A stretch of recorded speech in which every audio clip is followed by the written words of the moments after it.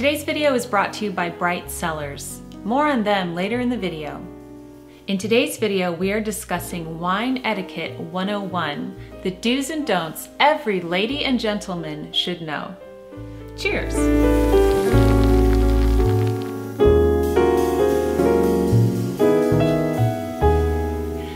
Everyone, Jennifer L. Scott here and welcome to the Daily Connoisseur.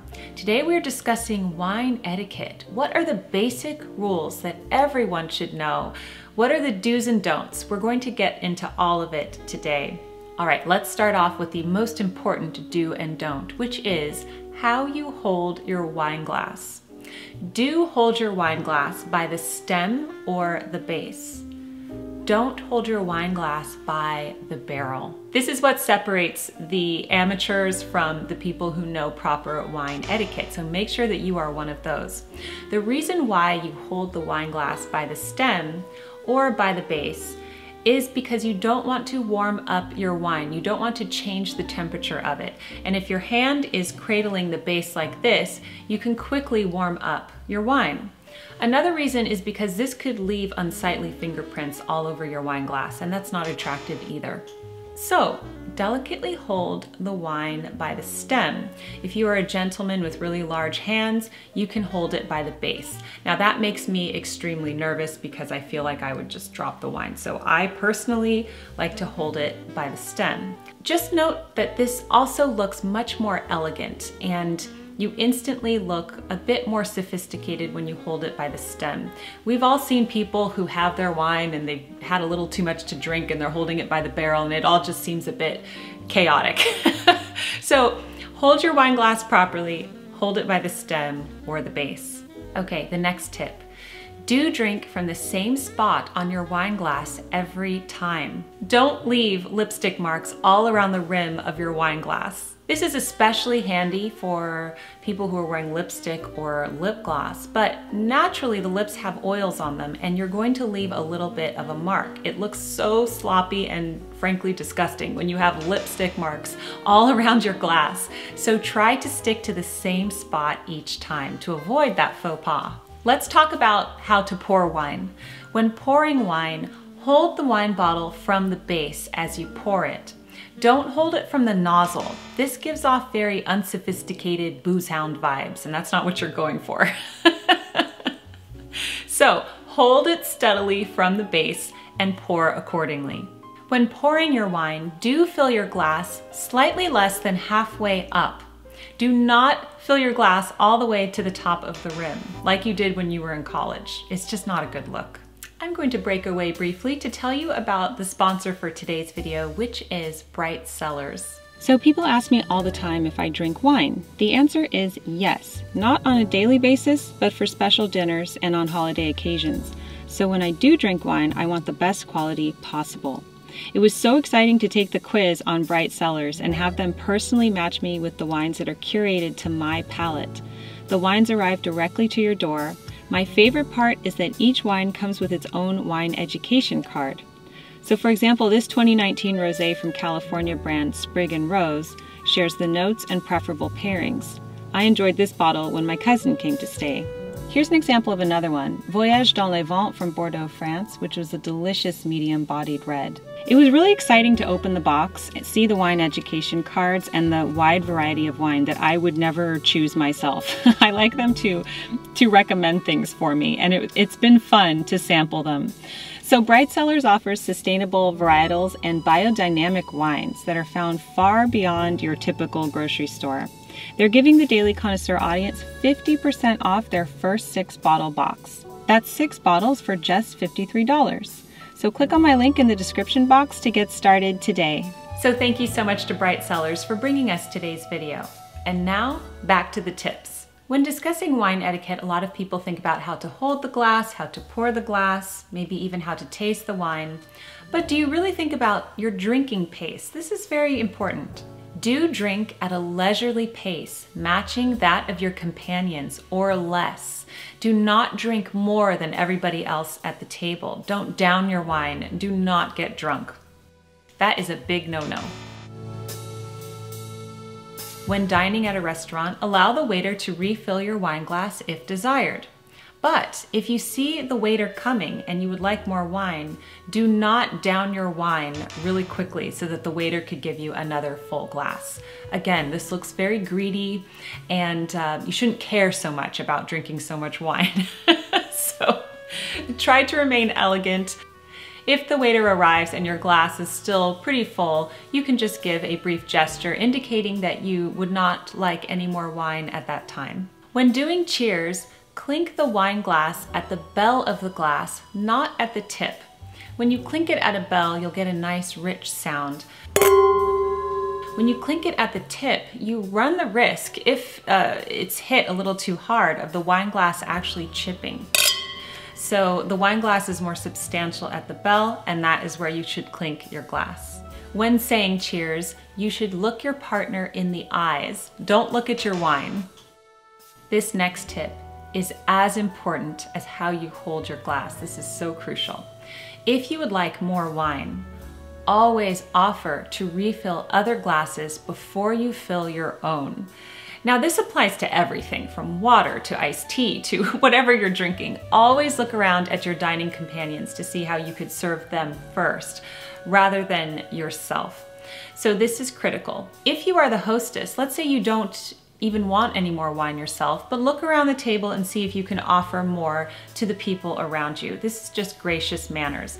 So you should never be caught taking a wine bottle and filling your own glass without offering to fill others first. We must always be thinking of others before ourselves. Here's a tip not many people talk about do make sure that you are indeed drinking from your own wine glass and that you didn't accidentally take somebody else's glass. This has happened to me before and probably a lot of people, especially if you're at a formal event and um, things are chaotic.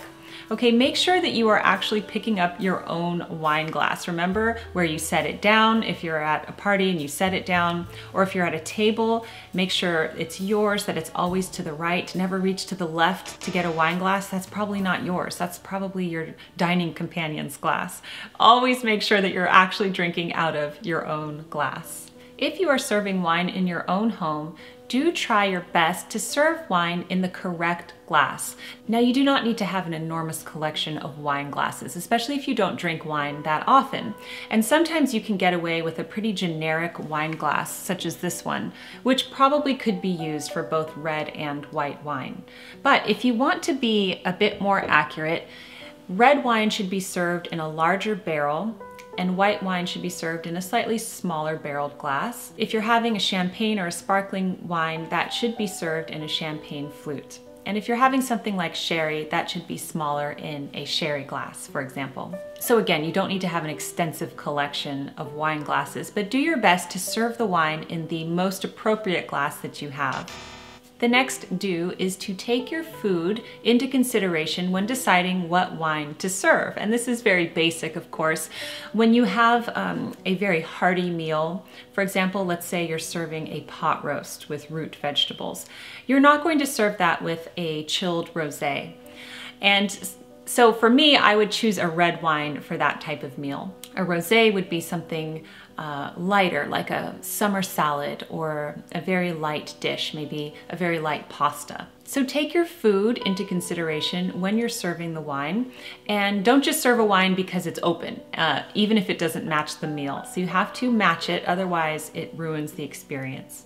My final must is to serve your wine at the correct temperature.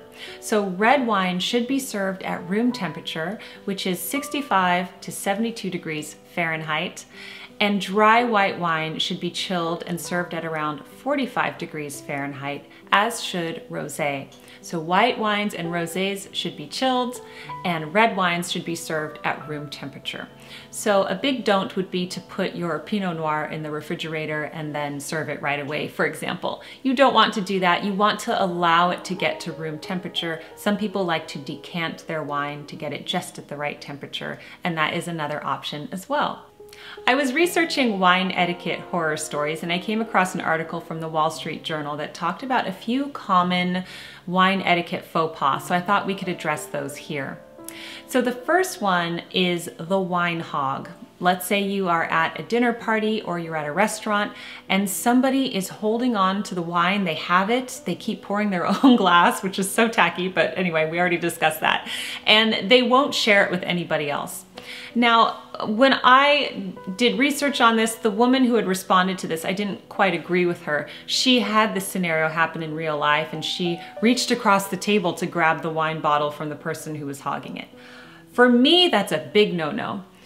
I am all about being a little bit more detached, a cool eater. If they want to hog the wine, go for it. I'm not bothered by it.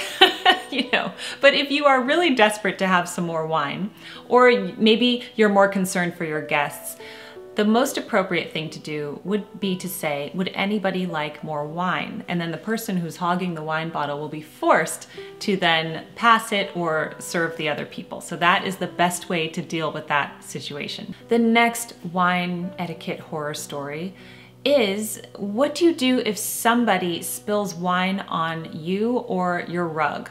Or what if you're the person who does it? Okay, this is a nightmare situation.